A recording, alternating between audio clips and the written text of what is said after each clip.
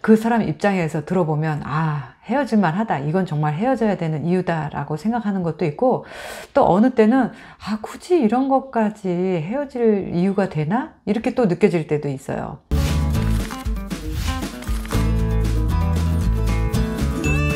안녕하세요. 리즈입니다.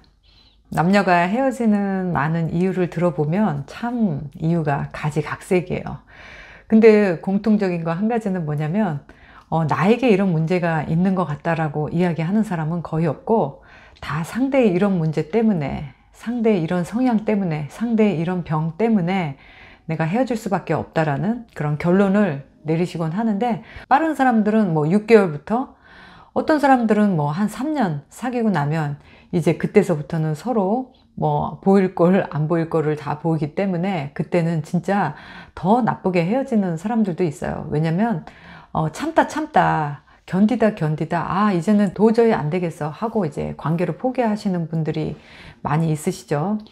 뭐 만남이 있으면 헤어짐이 있고 또 헤어짐은 저는 또 만남의 시작이라고 생각하기 때문에 뭐 이별 그 자체가 좋다 나쁘다 말씀드리고 싶지는 않네요 얻는 것이 있으면 잃는 것이 있고 또 잃는 것이 있으면 얻는 것이 있는 결국은 똔똔이가 되는 제로섬 게임이 아닐까 참 요즘에 남들의 연애사를 들여다보면서 저는 인생을 배웁니다. 제가 오늘 왜 이런 이야기, 이런 말씀을 드리냐 하면 그 남녀가 그 헤어지는 이유, 그리고 결별할 수밖에 없는 이유, 이혼할 수밖에 없는 그런 많은 이야기들을 이렇게 듣다 보면 어떤 사람은 상대방이 경제관념이 없어서 성격이 너무 까다롭고 예민하고 정말 성격이 아주 그지 같아서 또 뭐 상대가 너무 바람기가 있어서 상대가 너무 집착해서 상대가 너무 결벽증이 있어서 또 상대가 너무 세고 강해서 뭐 이런 식으로 상대의 결점이나 허점에 대해서 불만이 끝이 없습니다. 근데 대부분의 사람들은 그렇게 상대의 결점 때문에 또 상대의 허점 때문에 단점 때문에 헤어졌던 분들은 대부분 그 다음 사람을 만날 때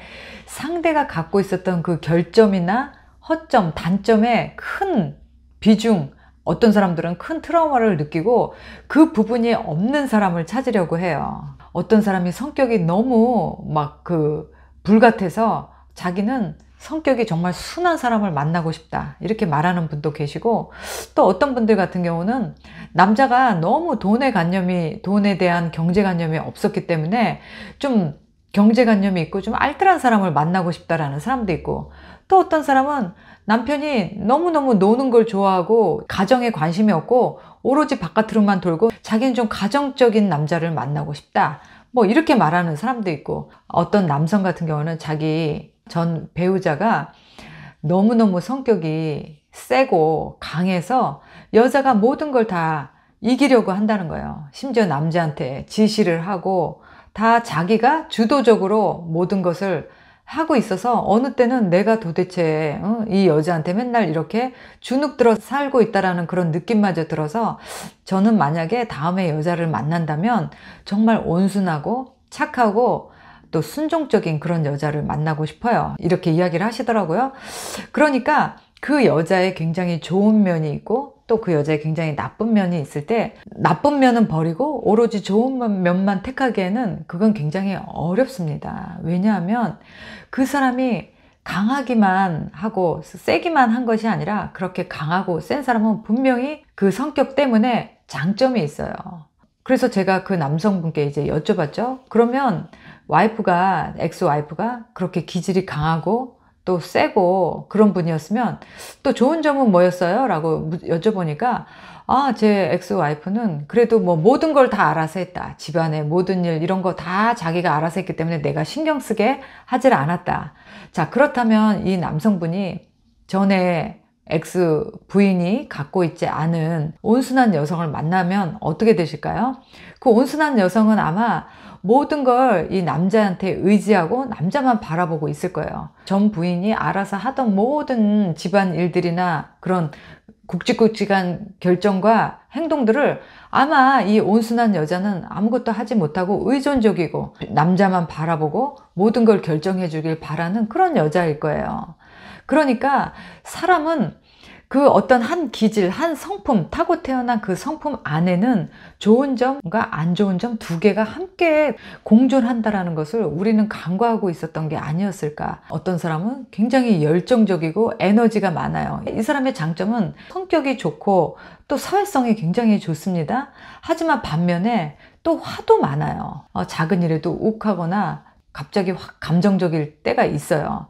또 그와 반대되는 성격인 사람, 사람이 말도 없고 좀 사회성이 없고 이런 사람들은 굉장히 성실하고 착실하고 책임감이 강한 장점을 갖고 있지만 또 단점으로는 사람들하고 잘 인간관계가 이렇게 매끄럽지 않은 또 이러한 단점이 있어요. 이러한 식으로 모든 사람들은 한 성격 안에 장단점 두 가지를 다 갖고 있다는 거죠. 이것을 우리는 저는 양날의 검이다 라고 말씀을 드리고 싶네요. 두 가지를 다 갖고 있는 우리는 아마 모든 인간들은 절대 좋은 점만 있지 않고 절대 나쁜 점만 있지 않은 어떤 한 성격 안에는 반드시 좋은 점, 나쁜 점이 함께 있기 때문에 나쁜 점만은 버리고 좋은 점만 테이크하고 살 수는 없다라는 것을 참 인지하게 됐습니다. 어, 여러분들도 한번 지난 과거에 뭐 배우자라든지 아니면 연인을 한번 떠올려 보신다면 그 사람이 반드시 다 나쁜 점만 있었는가? 또 반드시 좋은 점만 있었던가? 그건 아니었죠. 그 사람이라는 그 캐릭터, 성격 안에는 이 성격 때문에 어떤 좋은 점, 또 이 성격 때문에 나쁜 점, 이 두 가지를 함께 양날의 검처럼 갖고 있었을 겁니다. 분명히. 그렇다면, 그렇다면, 앞으로 여러분들이 만나실 분, 또는 지금 어떤 만나고 계신 분, 함께 살고 있는 분의 단점 때문에 내가 너무 마음이 괴롭고 힘들어요. 아, 제발 저 사람이 저것만 아니었으면 정말 내가 좀 편할 텐데. 아, 저 사람이 딱 저것만 고쳐주면 좋겠는데. 이렇게 생각 하시겠죠.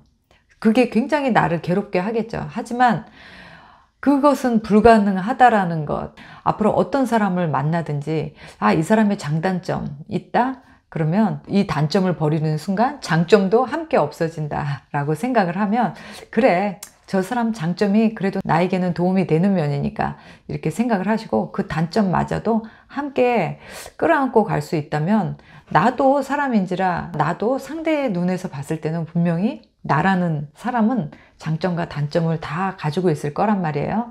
그러면 상대가 봤을 때도 아, 그래, 저 사람 이렇게 좋은 점이 있기 때문에 저런 단점도 나오는 거고 아, 또그 단점이랑 함께 가야 하는 또 장점이 있으니까 뭐 서로와 서로 끌어안고 가보자. 커플이시든 또 부부이시든 한번 이야기를 해보면 어떨까 싶으네요. 연인 관계뿐만 아니라 우리가 사회에서도 뭐 직장에서도 동료를 봤을 때도 그렇고 또 친구들도 그렇고 가족도 마찬가지죠. 아, 저 사람 좀 저 면은 마음에 안 들어. 하지만 그러한 성격 때문에 좋은 점이 있어요. 그 사람의 생겨난 그 성향, 성격, 그 품성 그 자체를 있는 그대로 받아들여서 우리가 그 사람에게 더 좋은 점, 그 사람의 장점이 나의 행복에 도움이 된다면 같이 가는 거고요. 그렇지 않다. 저 사람이 장점보다는 단점이 더 많아서 나의 행복에 방해가 된다. 내 행복을 불행으로 만든다. 라고 하면 서서히 멀리 하셔도 되고요.